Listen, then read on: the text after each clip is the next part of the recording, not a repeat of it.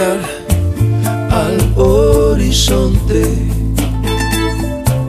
donde se pierden los sentidos, come la fruta del árbol escondido.